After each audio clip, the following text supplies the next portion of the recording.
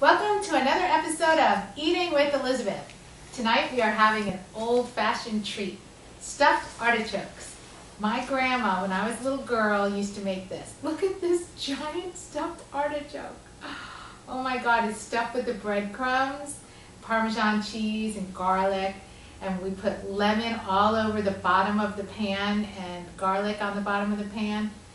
Um, Mom made these in a crock pot and she had four giant ones. Um, we already started eating some of them, and I thought, oh, let me show the inside of the artichoke. It's all full of breadcrumbs and garlic. They are amazing. Mmm. So good. Mmm.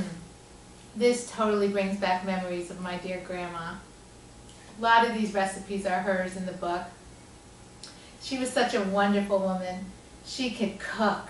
And she never, my brother Michael, the baker, she, every time she would go back to New York for the winters, uh, for the summers, and she would always leave meatballs in the freezer.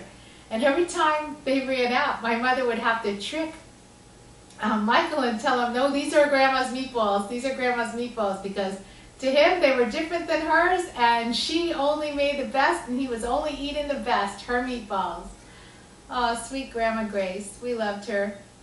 Um, she is um, not with us any longer, but she's with us in spirit. We feel her presence every day, and it is so wonderful to recreate her recipes and enjoy them still, and still feel memories of her while we eat them these artichokes. She would be so proud of this dish. well, I hope you guys get to stuff some artichokes in your lives because they are amazing. You really want to try one. I appreciate you coming and taking the time to view my, my episodes of Eating with Elizabeth. Take care of yourself. Peace to you and yours.